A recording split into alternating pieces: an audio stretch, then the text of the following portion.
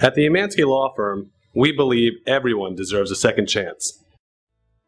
Some people may look at the clerk of the court screen in their respective county and see the word nolle prosequi and wonder what does that mean?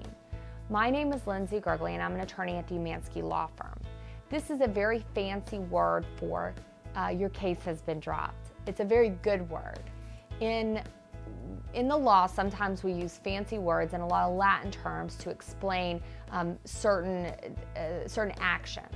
In this case, when the state attorney's office decides that they're going to drop your case, most of the time they will file a nolle prosequi.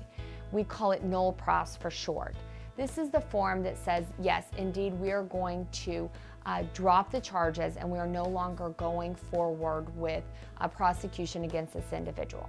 So if you see that term on your case and it is in respect to all of the counts that you're currently charged with, then in fact that means your case has been closed. So that's very good news for you.